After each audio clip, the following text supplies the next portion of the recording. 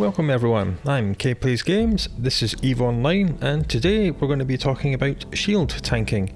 Now, because I like to keep all these guides self-contained with all the information you need, I will be repeating things that I already mentioned in the previously released armor tanking guide, but because I'm nice to you and I chapterize all my YouTube videos, you can just skip past all the stuff you already know if you want to. Right, with that disclaimer out of the way, let's get into it. First of all, we need to define exactly what we mean by the word tanking. Tanking is your ship's ability to deal with incoming damage. Physically, it does this with three layers of hit points, which we see here if you mouse over the HUD. They are your shield, your armour, and your structure. They are removed in that order, so your shield is eaten away first, and then your armour is stripped off, and then you lose your structure. When your structure reaches zero hit points, your ship explodes and it's bad times for you. As well as these three physical types of tank, there are a few game mechanics which help to reduce incoming damage as well. Speed tanking is how fast you move. Generally, the faster you move, the less damage you take. Signature radius tanking is keeping your ship's size as small as possible. You see this here on the fitting screen under targeting this one here that looks like a radar sweep, you mouse over it. At the minute, this Stratios, fitted as it is with the modules it is, appears to be 150 meters long. The larger this value gets, the larger you appear to be to the enemy and the more damage you take. DPS tanking is improving the damage output of your own ship, with the theory being that if you blow up the enemy, then they stop hurting you. Most ships can and perhaps should use a mix of speed, signature radius and DPS tanking to reduce incoming damage, but when it comes to the three physical tanks, it's generally best to pick just one of them and dedicate the rest of the fit to making that really strong rather than trying to do two or even all three physical tanks and doing them half-heartedly. There are some PvP fits that would use two or even all three physical tanks, but for the purpose of this guide we'll be concentrating on just one of them, namely shield tanking. So let's dock up so we can talk about this more. So how do we know when a ship should be shield tanked? To work out what kind of tank a ship is best suited to, you can have a look at many different things. One of these being the ship tree, which you find here. You go to the Neocom main menu, you go to the ship and you open the ship tree. Here you can browse all the various different factions and every ship available to them. And when you mouse over them, you see their traits show up. These ship traits can be a good clue. Something like the Moa will have a trait for shield resistances, so will some of the other ships. So looking at traits can be a good way of working out whether it should be shield tanked or not. There will also usually be an icon. See here. You mouse over it and it says shields, so the developers in the game are recommending that this should be shield tanked. Pretty much every single Caldari one will have this shield icon. We'll have a look at Minmatar. This one says armor. This one says armor. This one says armor. This one says shield. This one's shield. So that's another little clue for you. Another thing you can look at is how many mid power slots versus low power slots each ship has. So what we can do, we'll just show info on it, have a look at the fitting. This has 5 medium power slots and 4 low power slots since most shield modules tend to take up mid power slots. If it has more mid slots than low slots, then this can also be a little clue that it might be a good candidate for shield tanking. You can also take a look at the resistances that you find in the attributes tab. If it has better shield resistances than armor, then this is another clue. There's also many other things to take into consideration as well, from the ship's total capacitor pool, the capacitor regeneration rate, the ship's speed, the signature radius, the natural number of shield hit points, over armor hit points and a whole bunch of other things that may or may not affect your choice for picking one type of tank. You also need to keep in mind what situation the ship will be used in, what's it being used for. Right, so assuming we've gone through this selection process and decided on this MOA cruiser and decided that we're going to shield tank it, we now have to talk about the different types of shield tank. Shield tanking essentially has three different methods of tanking. Active tanking, which is using shield boosters to actively repair the shield during combat using capacitor. Buffer tanking, which is simply adding more raw shield hit points to the fit and passive tanking, which is increasing the natural regeneration rate of the shields because shields will naturally regenerate themselves over time. Armour and structure do not do this. Buffer and passive are closely linked, and we'll be diving down that particular rabbit hole a little bit later on. But whichever method you decide to use, you will also need to increase the resistances of the shield to reduce incoming damage. You have quite a few options to do this. We'll have a look in the hardware tab and the modules subtab and shield here we are. There are the passive shield resistance amplifiers. Here there's one for each of the four damage types.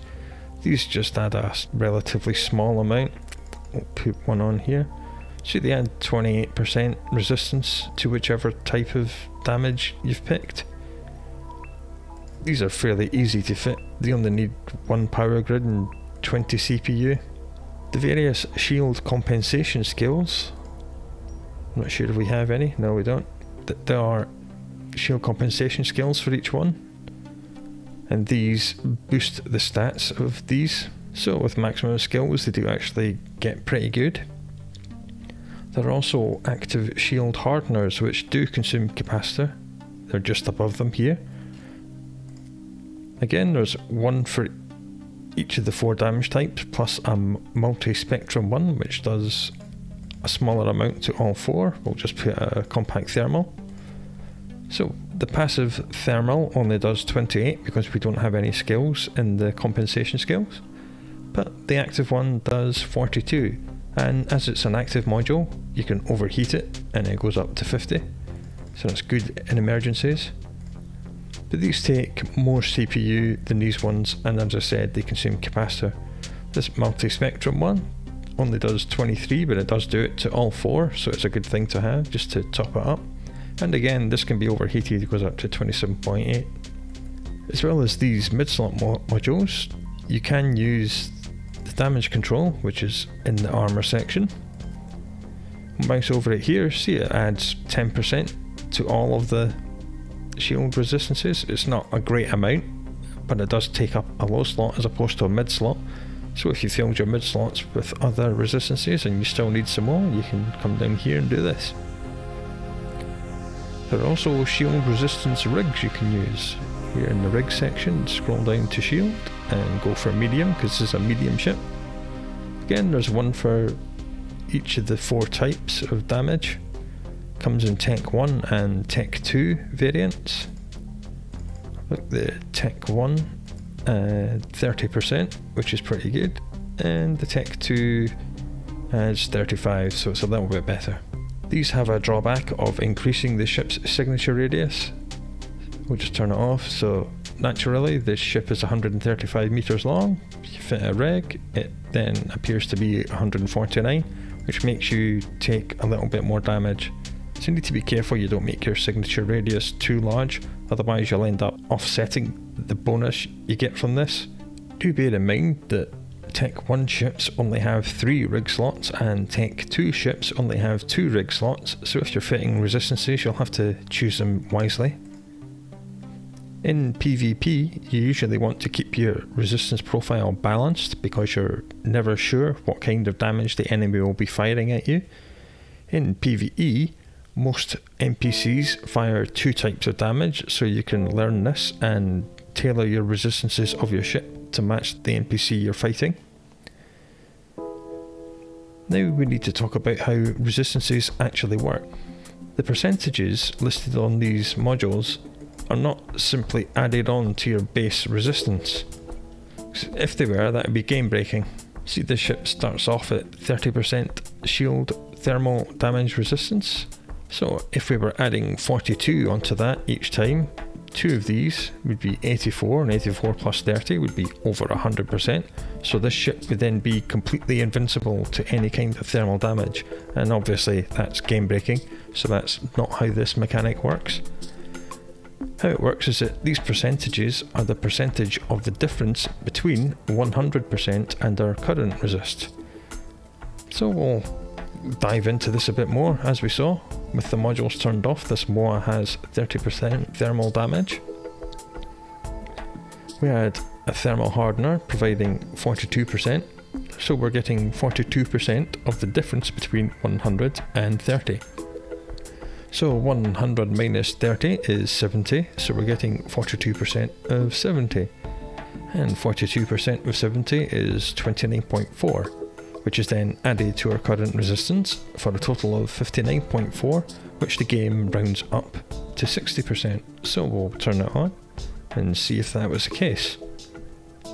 Yeah, here we are, mousing over, it now says 60% thermal, so we've proven that the mathematics works. Okay, let's add a second hardener, because we've decided that 60% is not high enough. So we should be getting 42% of the difference between 100 and our current resistance of 60. So 100 minus 60 is 40, so we should be getting 42% of 40. And 42% of 40 is 16.8, which should be added to our current resist of 60 for a total of 76.8, which the game should then round up to 77. So let's turn it on like Hmm, we've only gone to 75, so what's going on here? Have I done the mathematics wrong? Is this some sort of glitch? No, what we've encountered here is the stacking penalty game mechanic. Many modules will have this phrase listed on their description tab of the show info page. Penalty. Using more than one type of this module or similar modules that affect the same resistance type will result in a penalty to the boost you get on that type of resistance. Well, that's all very well and good, but what does this actually mean? In game, there is no way of seeing the actual effects of this, but simply put, the more modules you fit that affect the same thing, the less effective each one becomes. For your convenience, here are the actual figures. The first module you fit will work at 100% of its listed bonus. The second one will only provide 87% of its listed bonus. The third module will provide 57. The fourth will only provide 28. The fifth will provide 11. The sixth will provide 3%. And if you go any more than that, you're a fool. As you can see, you can only really get away with using three, maybe four of the same module on any given fit. Using five or six is crazy and only really for extreme fits. So not only is our second shield hardener that we fitted here, fighting against the diminishing returns mechanic of the resistances game mechanic, but it's also being affected by this stacking penalty. So we now have another step to do in our mathematical calculations, so we'll turn off the second one.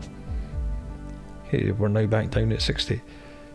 So because this is the second module, which is affecting the thermal resist, we're only getting 87% of its listed bonus.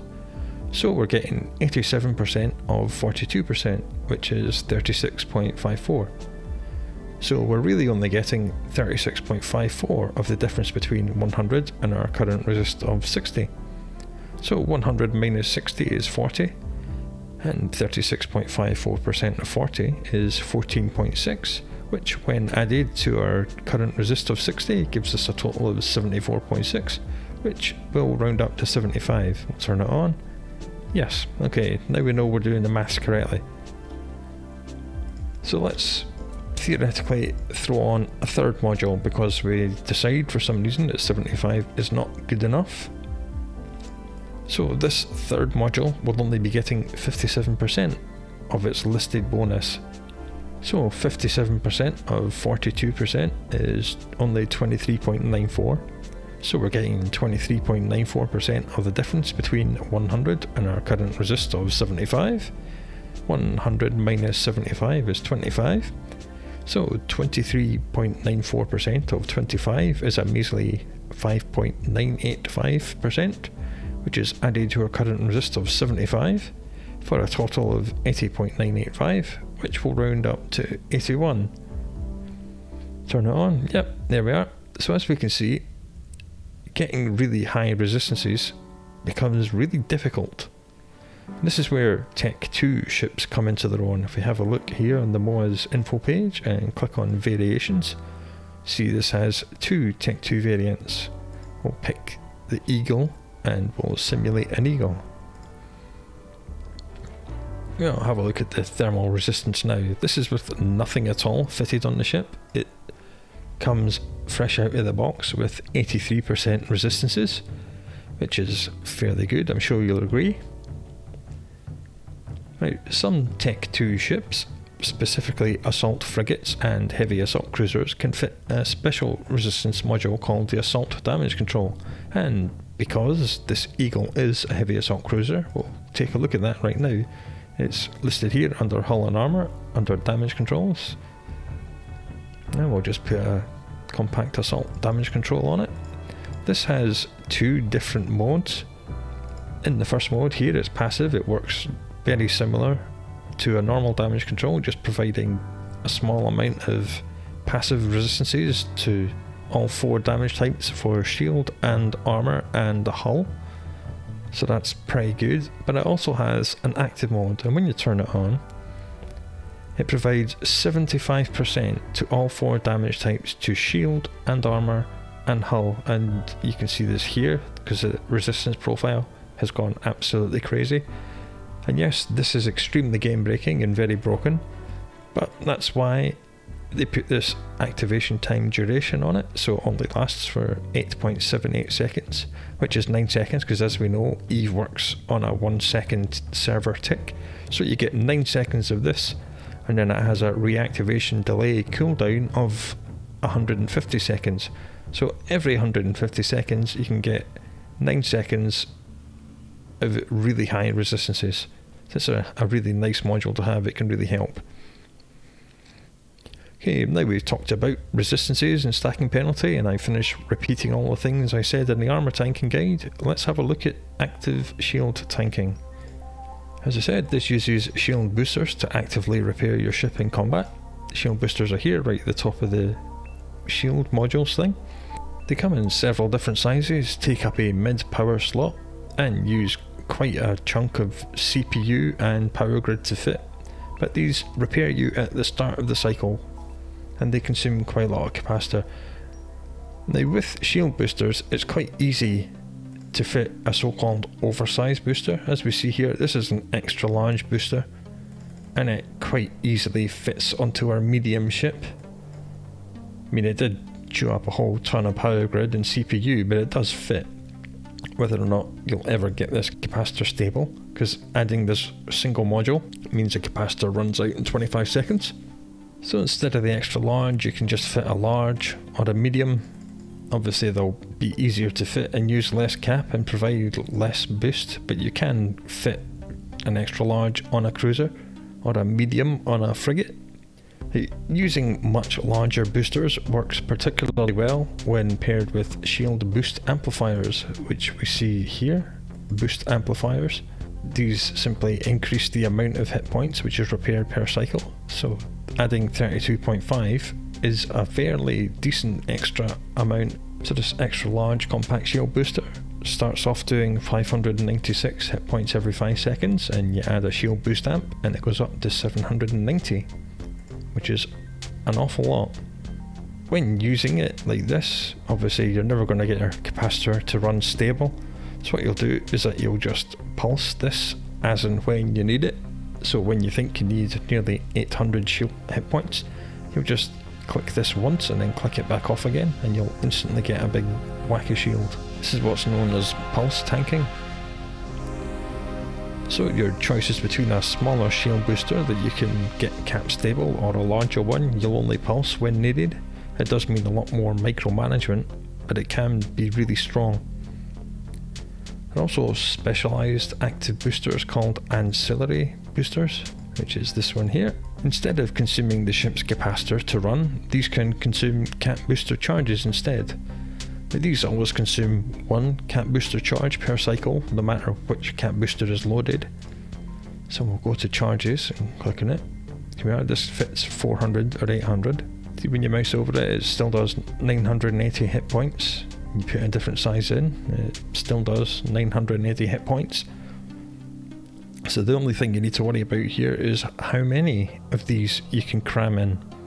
So you always want to get the smallest one you can, or whichever one will let you fit the most. If we use Cap Booster 400 on this module, it lets us fit 7. If we put 800s in, we can only get 3. So obviously we want to use the 400s. These normal cap boosters will only let you fit 7, but if you use Navy, Navy cap boosters are smaller in volume, so you can actually fit more of them. If you use Navy Cap Booster 400, we can now fit 9. This is important because this module has a 60 second reload. Yeah, reload time 60 seconds. So once you've used these 9 charges, this module will not function for 60 seconds whilst it reloads. So that's why you want to have more charges because you want to have an extra 2 boosts before it reloads. What you can do, you can turn off the automatic reload so when it runs out of charge you can still use it and then it will deplete the ship's capacitor. But as we see here, the ship capacitor only lasts for 5 seconds, which is one boost, because these things absolutely chew through the capacitor. But getting that one extra boost may make the difference. So I'd always recommend turning off auto reload on these and also turning off auto repeat so you don't accidentally click on it and leave it running and it burns through all your charges too quickly. And I'd always recommend that you overheat it for maximum performance because you really want to make the most of these 9 charges. You can actually fit more than one of these ancillary boosters onto a ship like so. So what you can do, you can now use them sequentially. You can use this one and then whilst this is reloading you can then switch to using this one and by the time this one runs out this one will be reloaded and you can just keep switching back and forth between them. Or of course, if you really need to, you can use them both at the same time for a, a couple of cycles. So this can be really, really strong, especially in PvP.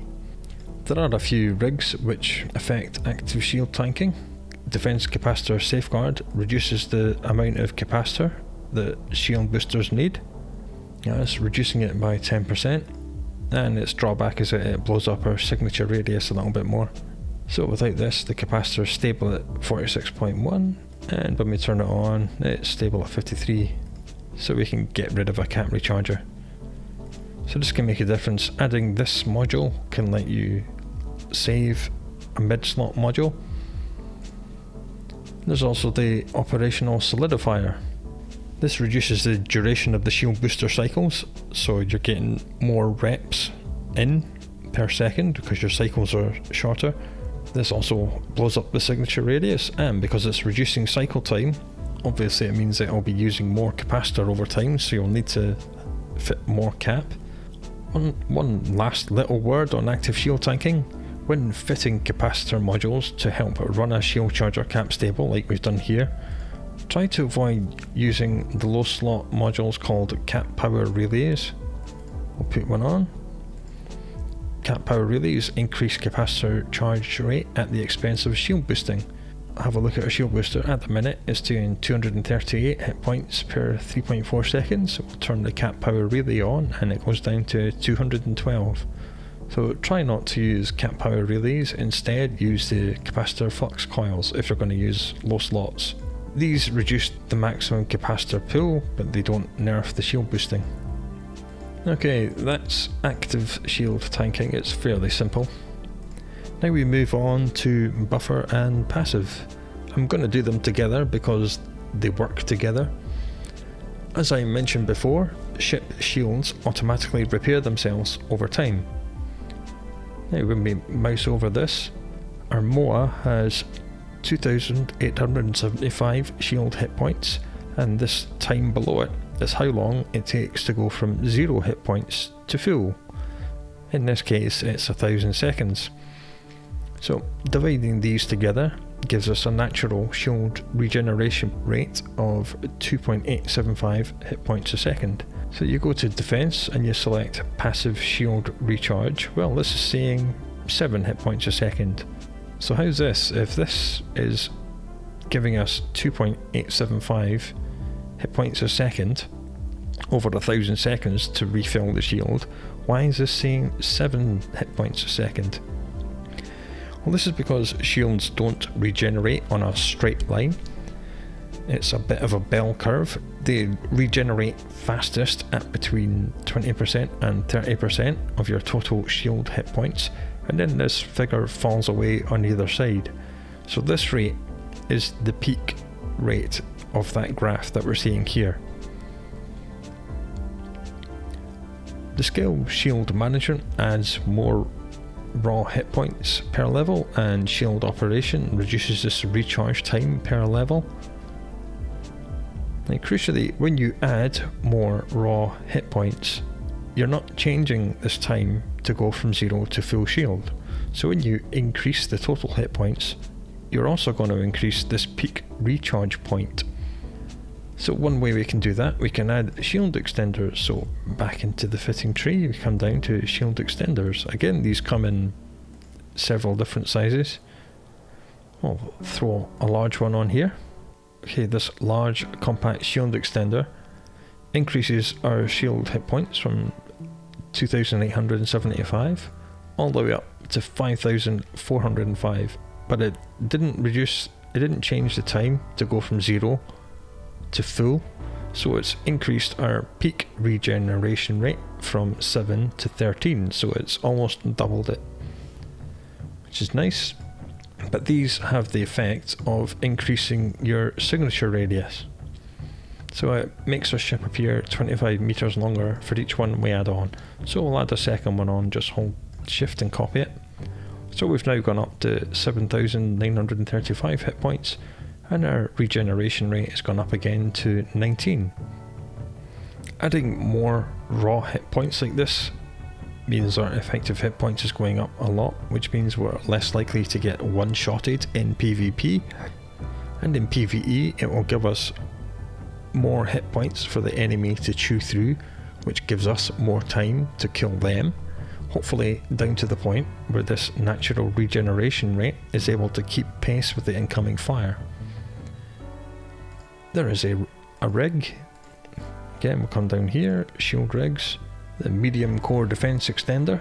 This works in exactly the same way, it just adds 15% onto the shields that we already have and it increases our signature radius even more. So we're going from 7.9 thousand up to 9.1 and the regen rate has gone up to 22.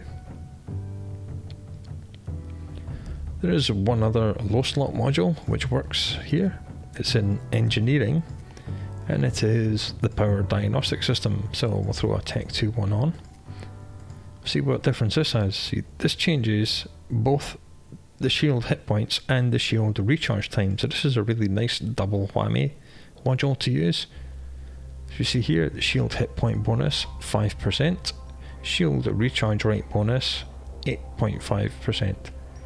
So this is a really nice module to have because it's not a mid slot, it's a low slot in it because it changes both things. So again our peak regeneration rate has gone up to 26. Okay, so so far we've just been looking at adding more raw hit point buffer.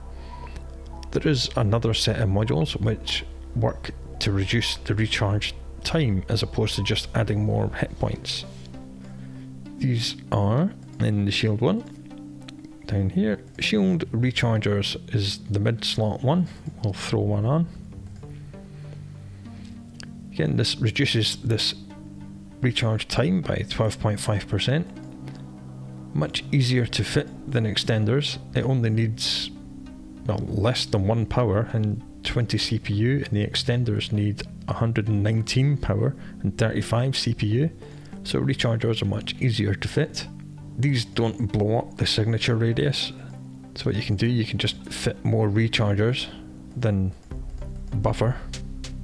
There are also shield power relays, which again work in the same way. Don't need any power grid at all, but they do need a decent amount of CPU this gives 25% bonus to the recharge time, but it does destroy the capacitor recharge rate. But because we're a buffer fit and we're not using anything that uses capacitor, the capacitor is still stable, so that's nice. And there's shield flux coils. Again, these don't need any power at all, they use a little bit of CPU. These increase the shield recharge rate, but they lower the maximum shield capacity, so I'll turn it back off. And then turn it back on, and our shields have gone down from 9,500 to 8,100, but the regen rate has gone up to 48. Rigs wise, we have the defense field purger, which works in the same way as the flux coil and the power relay. Recharge rate bonus minus 20% and blows up our signature radius a little bit more. So with all these various random modules fitted, our peak recharge rate is now 60 hit points a second, which is pretty respectable. If we throw one large shield booster on and then have a look at our active shield booster rate, it's 69. So it does mean that although we don't need capacitor, we do need all these slots to be filled to get up to 60 hit points a second and a single shield booster will outperform all these but obviously it needs capacitor. So with this very wide choice of shield extenders, shield rechargers, power diagnostics, shield flux coils, shield power relays, extender rigs, and purger rigs at your disposal, you are going to have to spend quite some time experimenting in the fitting simulator to see which works best to get your peak recharge up or your effective hit points up. With each and every ship having a different natural shield recharge rate, and everybody in the game having different skill levels and implant sets and play styles, there's no easy answer to this. You're going to have to find out for yourself.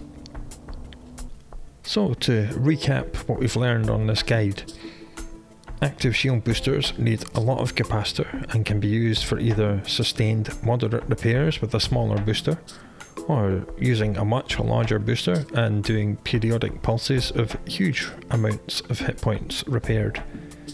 Buffer and passive shield fits don't use much capacitor at all, but can take up an awful lot of module slots and make your signature radius much larger, making you take more damage. Sometimes a buffer and passive shield tank can rival the performance of a shield booster but uses a lot more modules. But as always, do keep in mind that the low power slots are commonly used for damage modules, so don't reduce your outgoing damage too much, as this will result in a death spiral where you need more tank because you're not killing things fast enough. So you'll remove another damage module and add more tank in the low slot. So you're killing things even slower, so you're taking more damage and you need more tank. And with that dire warning ringing in your ears, we'll bring this guide to shield tanking to an end. It started off rather technical and long winded, but it got a little bit better towards the end. It did end with me telling you to go see for yourself, but then that's the nature of EVE Online. Everything's situational, and I don't know what situation you're going to be in. Hope you find this somewhat informative, and I hope you come back for the next one. Until then, do take very good care of yourselves and all those around you, and I'll talk to you later.